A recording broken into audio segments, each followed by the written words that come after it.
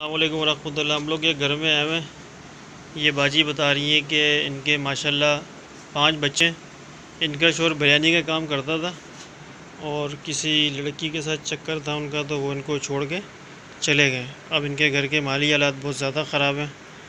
और किस तरह गुजारा करते हैं आप? मांग मांग के लेकर आ रही हूँ बच्चों को गुजारा कर रही हूँ।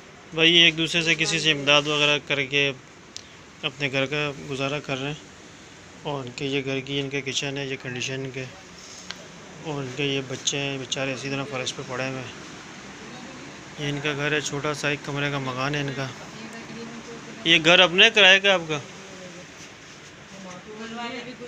ये घर अपने किराए का आपका? घर इनका अपना है?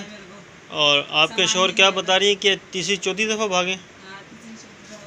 ये इसी तरह लड़कियों के चक्कर में हाँ इसी तरह रहता मारता पीटता कूदता भी भाग इनका शोर तशद भी करते हैं, इनके ऊपर मार कुटाई भी करते हैं और इसी तरह लड़कियों के चक्कर में आगे पीछे लगे रहते हैं। अल्लाह पाक उनको हिदायत दें और अपने बच्चों की तरफ़ उनको तोज्जो दें, वो उनके बच्चे, बेचारे बहुत परेशान हैं। अल्लाह पाक इनकी परेशानी को दूर करें।